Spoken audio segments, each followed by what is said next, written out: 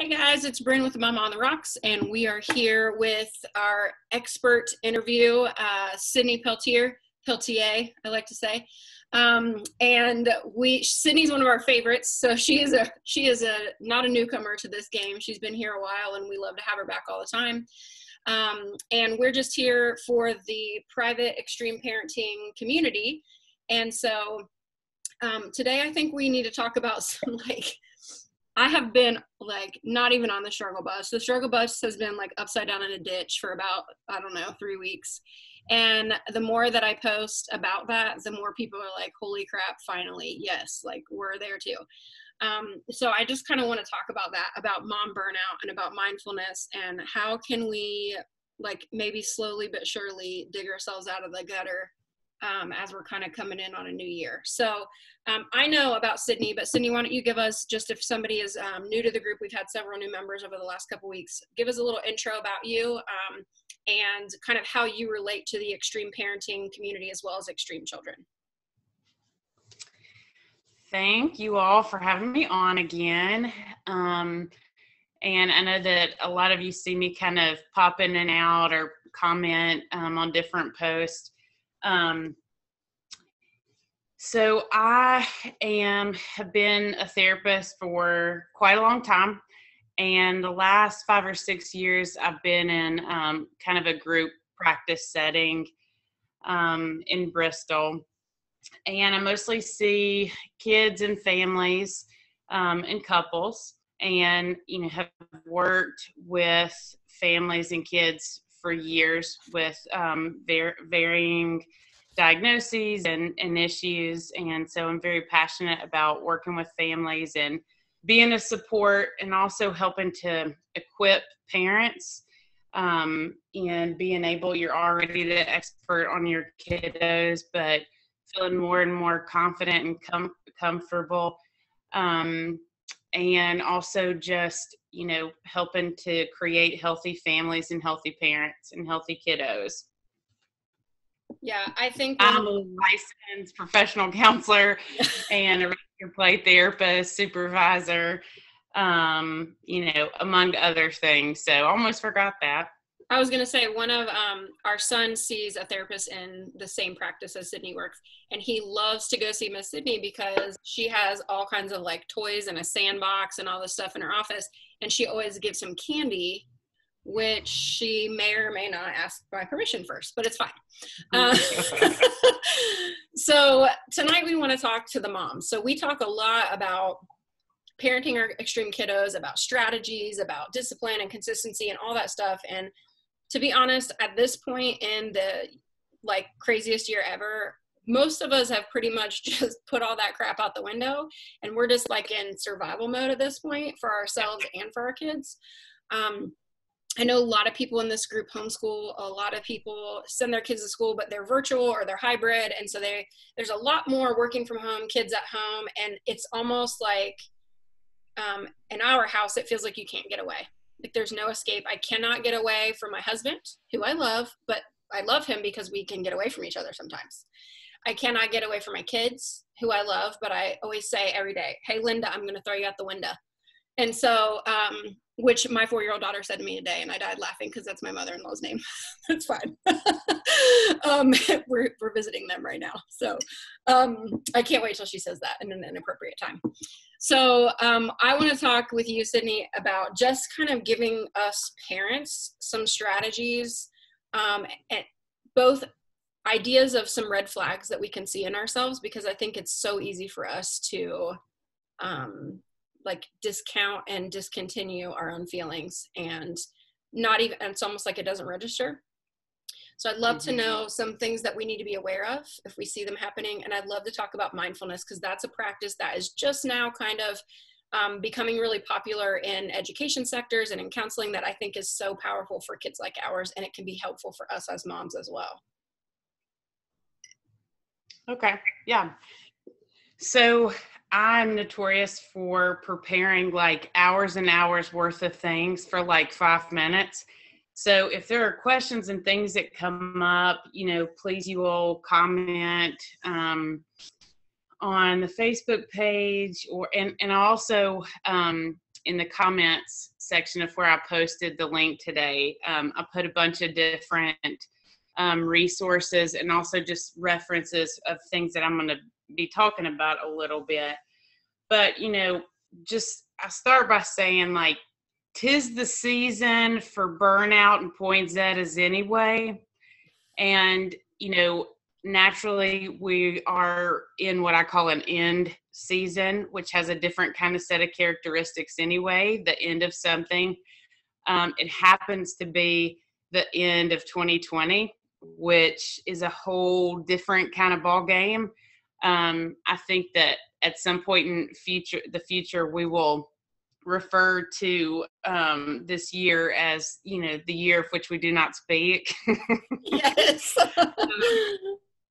so, so I think it's I haven't seen burnout in folks in you know like I've seen it the past few months across the board. All of my clients, um, kids, families, parents, you know, across the board. The last few months, probably for myself personally as a therapist and as a parent, um, and you know, just with my clients and seeing what they're experiencing, I I think that it is it's a whole different level of, of burnout. Um, some some of the the red flags for burnout and you know I, I think honestly we probably feel and experience burnout whether we call it that or not we typically know what that's like or what that feels like even if we don't call it that um, where we are tapped out at capacity. Um, some of the things that happen when we're experiencing burnout um, is shifted into autopilot you know kind of going through the motions not really feeling a whole lot of emotions one way or the other um, big reactions which is sort of the diff you know very different than being a robot on autopilot but noticing that our reactions aren't quite matching the situation isolation or checking out. I call it phone fog, you know, where at the end of the day, like um, we just sort of check out, aren't really engaged with our kids or with our family. We just mindlessly want to scroll through Facebook or whatever. Um, body aches and pains. You know, we absolutely experience stress and burnout in our bodies um, you know, muscle aches, pains, soreness, um, you know, gastrointestinal stuff, even nausea. Um, Self criticism. I think that in times of high stress and burnout, the, that internal dialogue that we have with ourselves, um, I think tends to shift to, to being more critical of ourselves. Um, I think that typically in seasons like this, instead of slowing down, we tend to strive and push. When we notice that fatigue start to set in and the stress, we don't always honor ourselves in the midst of that. We feel like we've got to step on the gas instead of pumping the brakes.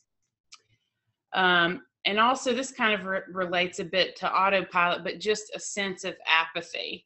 Mm-hmm. Like, not nothing really nothing really matters yeah do you think that as extreme parents um, and i mean i know this is true at times for any parent but because um, the needs of our kids tends to be on most days very very high and so we're we tend to sort of live hyper vigilantly do you think that extreme parents specifically can almost go through this burnout cycle daily?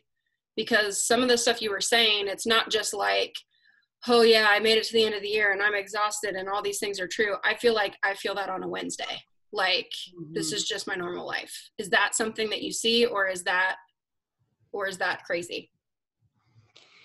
No, I I think um I mean I think that's an interesting way to think about it, but I think probably especially as as extreme parents, you're used to co-regulating with your kids and you know, from a good place of trying to be in the moment and figure out what it what it what's going to work and manage behaviors. And so it's very easy for us to co-regulate to our kids and allow our kids to set the pace. All all parents struggle with that, sure. right? Um, we tend to react to their reactions instead of getting you know instead of having less of react of a reaction and kind of setting the pace for them and allowing them to um, co-regulate to us um, often we just sort of become the bigger kid with the bigger reaction mm-hmm. right um, so yeah so i think that um, some of the bur- burnout comes from just being so exhausted with trying to help mitigate those yeah. behaviors because obviously they're in a season too where they're they're also in at the end of 2020 yeah. Um, and they're trying to manage their internal experience of all the stress. Mm-hmm. um, so it's very difficult for kids and for parents in that sort of way. So absolutely i think that's totally true well talk to us about mindfulness because um, i am a firm believer in its importance and i really have a hard time with it because i'm a striver chronically. And so i have a hard time just being present just like slowing my roll enough even if i'm by myself to just like like pump the brakes and chillax for a minute. Like i it, that is very difficult for me. It's, it has to be very intentional and and i see that in our son too who's our extreme child of the two. And like we almost have to have like a warm up to being mindful. And then he can be mind like it's it's a process. So talk to us about why is that important and what might that look like? Well I feel like one of the things, even before we can, um, like you're saying, even before we can approach mindfulness, um, is we really have to understand what's happening in our brains and bodies when we are feeling stress and we're trying to accommodate stress or react to it. And one of the things um, on the videos that I posted for you all about mindfulness from Happify, they're like two or three minute videos, and they're so good at just kind of explaining it. And one of the things that she talks about that talks about on there is learning to respond wisely versus reacting blindly. Mm. And I also posted um, Brene Brown's um, somewhat recent podcast where she's talking um, to um, Emily and Amelia Nagoski um, about completing the stress response cycle. And that and so book, think, guys, just so you know, that book is on the Mama on the Rocks Facebook page in the shop. It's also in the shop on the mamaontherocks.com. And so you can literally just click through and it'll take you right to the Amazon. It's awesome. So go ahead.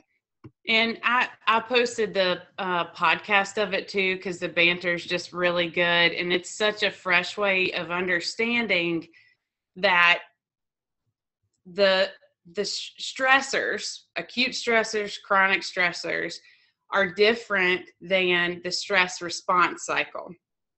And even in the presence of ongoing stressors, it's important to come in and out um, of that experience in completing the stress response cycle. And so, um, you know, mindfulness or similar techniques are one of the ways um, of doing that um, in the book and in the podcast, they talk about the top ways to complete the stress cycle. And just to name those really quick for you all, the number one, and these are all based on research.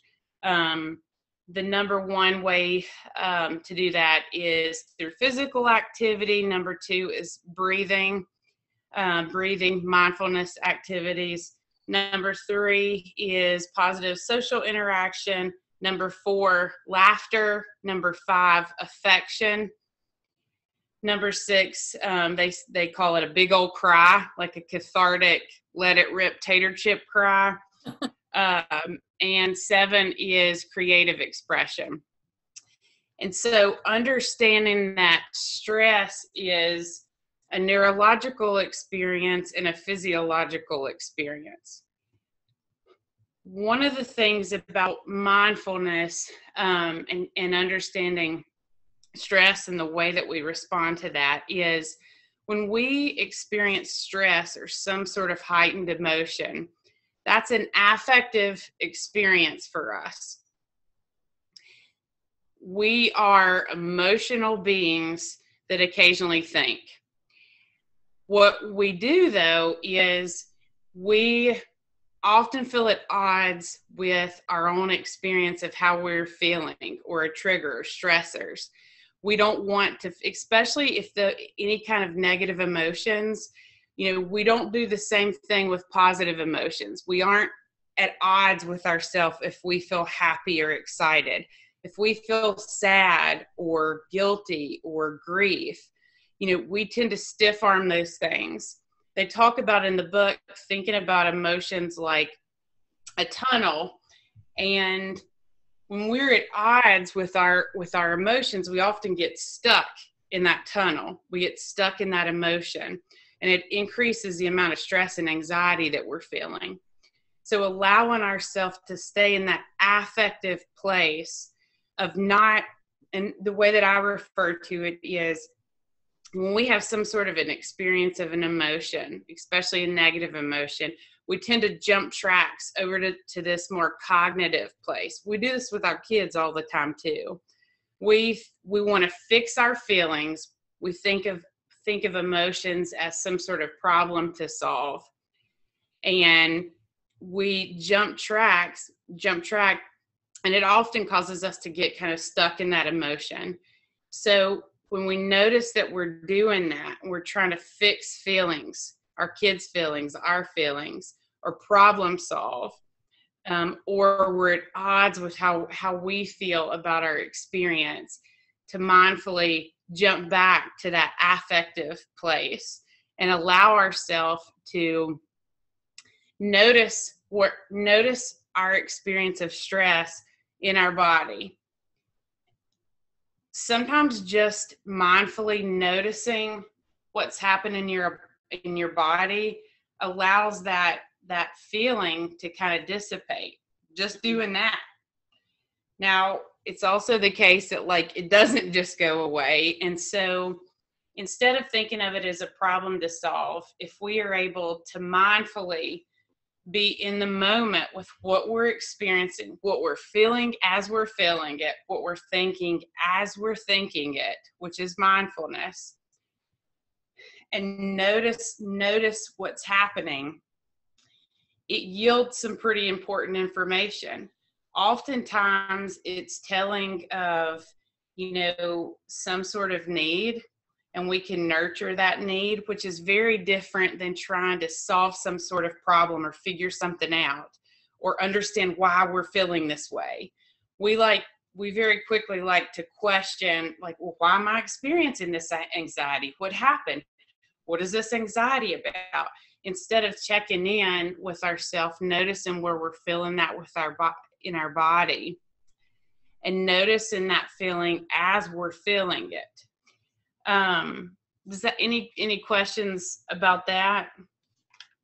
I don't have a question. I just noticed when you're saying that. I think um, you said something about kind of overreacting, being the bigger child sometimes with our own kids, and to me it almost feels like with with my own anxiety it's one of two responses to my child's anxiety so if briggs is really struggling i'm either creating space for him and i'm saying things like okay well, what are you feeling in your body or how's that feeling for you right now or try to help him identify that emotion and really kind of walk him through that and allow him even though i do not do that for myself or I'm already at a point where I'm either maxed out or I'm in the middle of doing something. And so I'm either sensory overloaded or anxious overload. And that's, of course, when he has 25 things he needs or has to say or wants to scream or have a mm-hmm. meltdown. And then I'm the bigger child. And so I'm very dismissive of his feelings or I'm, you know, whatever. So, like, I appreciate you talking about kind of both ends of that spectrum because mm-hmm. I for sure see that in my own anxiety and how it presents as well as how it does in my child. And mm-hmm. so I just think that's really important for us. Like we can kind of throw these um, therapeutic terms around like mindfulness, but in our house, you know, I always talk about how vocabulary is really important. We're intentional with our words, and we don't say "be careful." We say "be mindful," and mm-hmm. I think that's important for our kids to start being aware and cognizant of their body parts. Because I don't know about you, but my kid is like a daggone bull in a china shop all the time. He just doesn't know where his parts are, and um, so it's important in kind of giving them some responsibility over their physical presence as well as what kind of emotions how those feel in their body. And so i just i'm glad that you said it like that because i think that's important for us as moms to realize that what we see in our extreme kiddos or neurotypical kiddos a lot of times we're feeling those same things. And so how are we mm-hmm. responding differently to our kids than how we do to ourselves? Because that can be kind of telling to what we're mm-hmm. dealing with too. Yeah i mean i think that's true. And you know we do that with relationships in general but we we project our experience even if it's our experience of our kid or our partner or whatever we pro- project that onto the relationship. And um you know it's it's hard to be present in the moment with our kids or with our partner because we're having a vicarious experience of anxiety based on what you know what they're de- what they're dealing with. And i like what you were saying too about word choice and being mindful of the language that we use with our kids because you know saying things like typically when we when our kids are experiencing some sort of emotion we're anxious about it right? Like we want to fix it. We want to move very quickly to problem solving we often say things like what's wrong? What's the mm-hmm. problem? In, instead of validating that feeling we want to fix it. Yeah and i um, think and and we've talked a lot about just being in a relationship and having an extreme kid and something that drives my husband crazy and we've talked about it on in this group before is it doesn't matter if my kid cries like he has broken his foot off his body just clean off and all he did was like barely stub his toe, I will say something like, I'm so sorry that happened. That must have really hurt you. And Spence will look at me like I have three heads. He's like, Are you freaking kidding me? Like, what in the heck? But truly, sometimes it's just about like recognizing that, man, that stinks that that happened. And then we can keep it rolling. But if not, it's going to be like a threat level midnight situation. And I think for us as adults, um, and for a variety of reasons, I'm sure, many times when we are when our our kids are in big emotions and you're saying yeah we go to this problem solving place you know I, like i said i'm either creating space for him to really be in it and feel it and talk about it and move forward from it in a positive way or i'm like did that even make sense? Like please explain to me how you did not i mean and that's exactly how i sound because i'm super not sarcastic. I'm like please explain to me how you thought for one second that shooting a nerf dart at your sister's eyeball was a great plan you know, mm-hmm. because I'm mad. It's in the heat of what's ever just gone on. And it's like, you know, and so it, of course it doesn't ever help to match their chaos with ours, mm-hmm. but sometimes it feels unavoidable because it's all we do all day. It's just consistent. Mm-hmm. The only consistent thing is is chaos. Mm-hmm. So well, and one of the one of the things too I think that shows up, um, especially in seasons of burnout, burnout is instead of expecting less from our kids and from ourselves as parents, we push it into overdrive and we start expecting perfection. Yep you know and it's part of that striving mentality. And i always say to folks i always say all right what what what's at stake here? What is this about? You know um, what's that underlying belief that's running the show here? That anxiety or insecurity that's on that's on the table. Um, something that you've said before in this group and dr browning said it last week and i just try to keep telling myself this all the time now because it, it is not my spiritual gift is it's okay to be good enough. Mm-hmm. and and like what does good enough look like? Like define it for you So if I lose my absolute SH on my kids 14 Mm-hmm. times today, is that good enough? Like, is that okay? Are they gonna not need extensive therapy as adults? They probably will already, but like, what what does good enough really look like? Because to be honest, at this point, like we can all make memes and joke and laugh about survival mode and burnout, but this is real. Like this is my actual everyday life, and uh, I know people in this group have like I posted about it on Monday, and I have there's like twenty thousand comments, and several of them are telling me how just like I'm literally like the worst person in the universe, and I'm a terrible mom, and all these things, and it's like I've had to be like like walk away because um it's Mhm. those are the times like you're saying that I go into perfection mode, and I'm like I wasn't making that number up. There are literally over 20,000 comments, not shares, not re- like comments, people that took the time to wrote, write something on there. And there's this handful of people that tell me that I should have never had kids and I'm, you know, my kids, I'm ruining their lives and all these things. And, but those are the ones that I'm like, oh my gosh, I should never write again. I am the worst person. Why did I ever start this? I'm like terrible and all these things. And I hear my kids doing that. I hear my son being like, I'm just an idiot. I'm just stupid. And I'm like, holy wow. And that's when it becomes very realistic to me of, you know, he he gets in those same kind of cycles. And it's like, and I, I that I'm familiar with that book and that podcast was phenomenal. And it really does. It's like, okay, I'm stuck in the tunnel right now. Like Mhm. if I do not get myself out of here, Mhm. there are going to be a whole lot of re- repercussions for myself and others. So I'm so grateful that you brought that up because I think that's really real right now for a lot of us. Mhm. So what would what talk to me about some kind of like practical and I know you posted a lot of stuff because I was looking through it earlier. I'm so grateful for that. Um, what is something that we can do? You you're a mom, you're a working mom, you're a busy mom.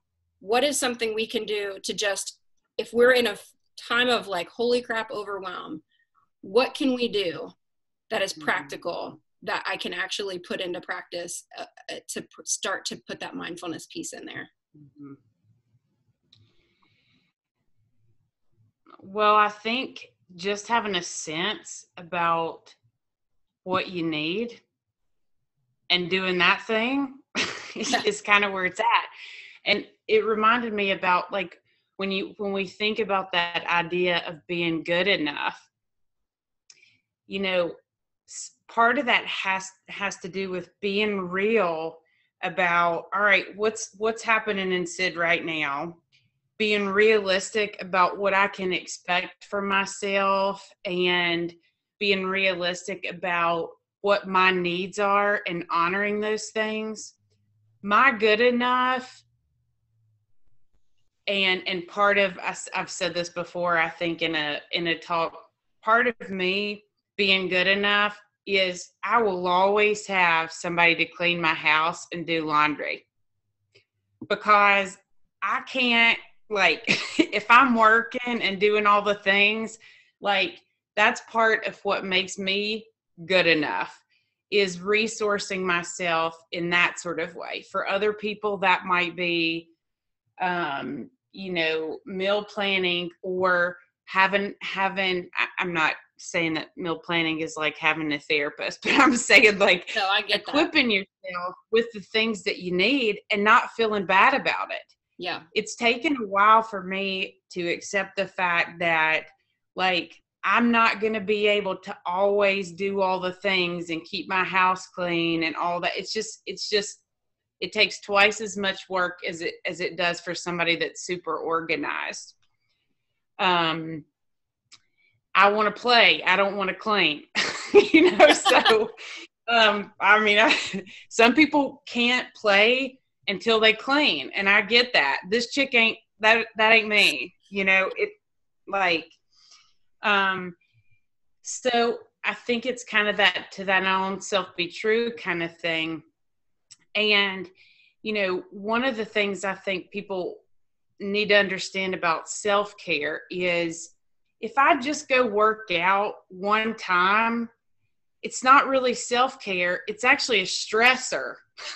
Like it's actually going to be a stress for my body.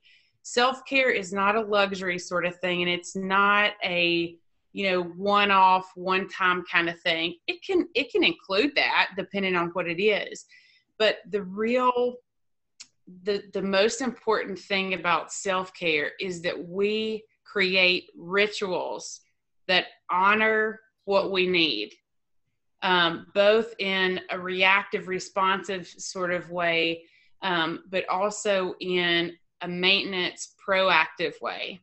You know i use the metaphor um, of a car. You know you can spend and i don't know anything about cars but it's all i got. Um, you know you can use you can spend $50 getting an oil change or you can keep your gas tank full or relatively full or you can run out of gas or be running on on fumes and that causes issues with your car. Or you can you know not do the maintenance thing and not get your oil change and then you've got a whole big expensive problem to deal with and you're trying to do damage control and then you're in you know and then you're thinking about repairs.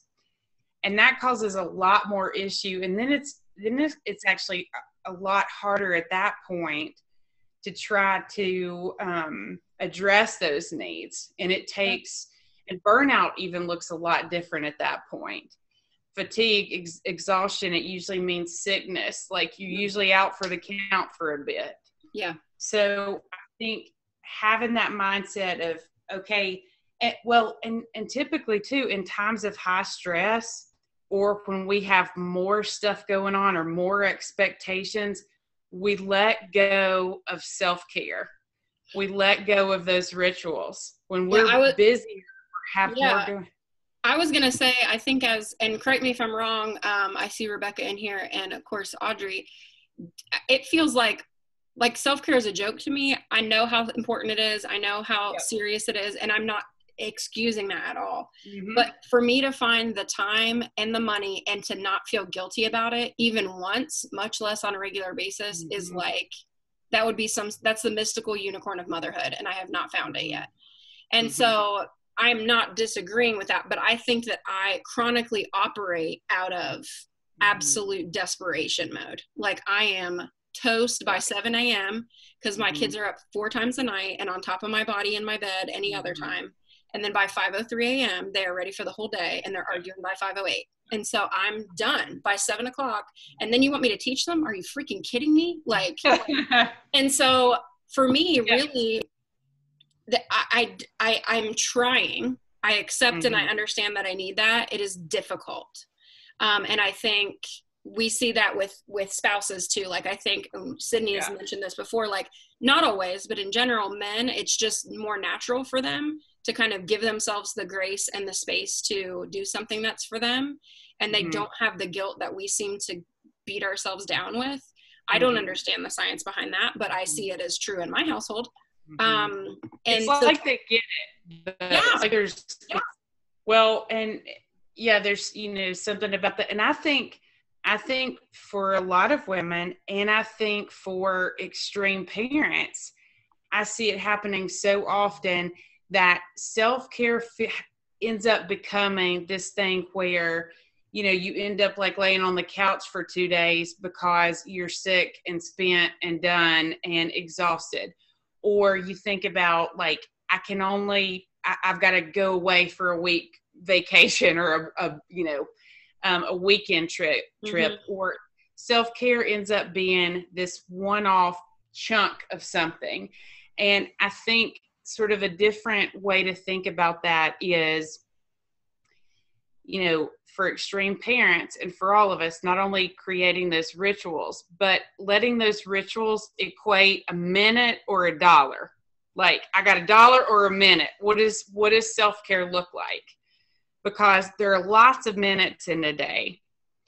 Um there, there's some mindfulness activities that i posted that i think are like one minute two minute activities and again, in the presence of chronic or acute stressors, being able to come in and out of that stress response cycle in different ways. Yeah. And mindfulness is one of those things that is incredibly helpful, but it's an art and it requires practice yeah. and it's a mastery experience. Yeah. Um, and it kind of goes against the grain of what we've been conditioned, how we've been conditioned to respond to ourselves. For sure. Yeah. I will say, um, and I, I adore my husband. He's wonderful, although sometimes I want to throw him out the window. Um, but lately, because I have been so absolutely on not even E, whatever's below that, that's what I've been on. And so I have really just said because he's able to like turn it off, like he had, he's deaf in one ear because of a climbing accident. So he has like a Bluetooth um, beanie and he puts it on his one good ear and he legit cannot hear my, ch- they could be killing each other. He has no idea. And so he'll be like, all right, let's go outside and play go karts. And he'll be out there with them. Because I will say, and, and like I posted today, I took a picture of my boots. I went on campus, which is like a mile from my house, and literally just walked because it was sunny out and I thought I was going to murder mm-hmm. someone. Mm-hmm. And I was just feeling stabby, and that's what I needed to do. And a lot of times for me, it will be taking the 20 minute drive from my driveway to Starbucks and getting my iced coffee, listening to my murder audiobook all the way there and back because no one's talking to me. And so what I've had to do, and this is, I'm not saying this is right for everybody, but like, it's my kids usually act better for my husband when I'm not there. And I'm not stressed out about how he's handling my kids. And I know that I'm not just the only one in this group because we've talked about it a lot, that it is stressful when your parenting techniques are different. And it's a whole other thing that causes anxiety. So sometimes it's just about leaving and it doesn't have to be for a long time. It can just be like, all right, today I said I'm I'm gonna go get Starbucks. I'm gonna go take a walk. I'll be back. And yeah. my daughter was like, Mom, can I come? Can I? Nope, nope. I'm off duty. Like if you see me, like put on some sunglasses because I'm not here. And yeah. my kids have now said like, "Are you available?" Because I'm like, "Mommy's not available. Sorry, like mommy's doing work. I'm not available." And mm-hmm. because you know they will obviously walk past my husband who's on his phone watching motorcycle videos straight to me and five rooms away because they need their gummies open clearly. And i think that's true of so many of us. And it's like if i see one more pack of gummies i'm gonna elbow drop you right here in the living room. And so i think it's about whatever it is even if you're in survival mode which a lot of people are that and that's all you have. I love that minutes to dollars. Yeah. I mean well yeah and um I lost my I lost my thought. I was paying so much attention to what Listen, what you were. Saying. I see it when you um, do this. I watch it. It's like I watch it leave your brain. Yeah, come back. Yeah. Come back. It's it's it's back now. I love the quote that says something like, "You can reset, refocus, restart as many times as you need to." And that's that's kind of my favorite way of thinking about mindfulness. Yeah, also as an art that it might be a hundred times a day that we have some sort of thought or feeling and we get carried away by it. You know, we react blindly to yeah. it. And it causes lots of more anxiety. But when we notice that happening um, in our body, in our brain, when we notice that, to mindfully be able to push the reset button and to return to a place of calm, paying attention to what's going on in my body, paying attention to what information that's given me, what I might need, you know, what nurturing that need may look like. Yeah. Um, and Zoom is telling me I have three minutes or I have to pay them. But um, y'all know this happens every time. But uh, I was gonna say too, I'm I am the cleaning mom. Like I do not and that gives me anxiety. Like if stuff isn't where it's supposed to be, I freak out. I can't go to sleep. Like um, but the other day, and my kids know this, they know like I hate glitter, I hate Play Doh, like ain't none of that, it will not pass through the threshold. No, ma'am. And so I gave them, I had some, our son is gluten free. I found some like gluten free flour that I had let expire. There was like two bags of it. I said, y'all go, it was happened to be a sunny day. Y'all go outside because I needed them away from me. Y'all go outside, build a castle out of flour, build, throw it at each other. I don't care. But like go in the yard. And, and they thought that was like the coolest, best thing ever and I set a little timer. You don't come in and ask me questions until this timer goes off. And they weren't gonna die. Our yard is safe. There's 13 acres. They're they're fine. But like sometimes it is that little bit of, you yep. know. And and then you know I was winning some major points there because they thought I was mm-hmm. cool, and I was like I can hose you off out here and nobody's mad. Mm-hmm. So, um, look at the links that Sid posted on the one that has the picture and the link for tonight. I'll, I'll post that as an announcement. She, there were eight comments in there, and they all were different links to mindfulness activities, to the podcast. If you don't watch Brene Brown or listen to Brene Brown's podcast, you're blowing it. Um, it's almost every time I'm like, oh, get out of my head, lady. Um, but uh, Sydney, thank you so much for taking your. I know you're a grandma, so you're usually in bed like bef- way before now. So thank you for staying up late to hang out with us.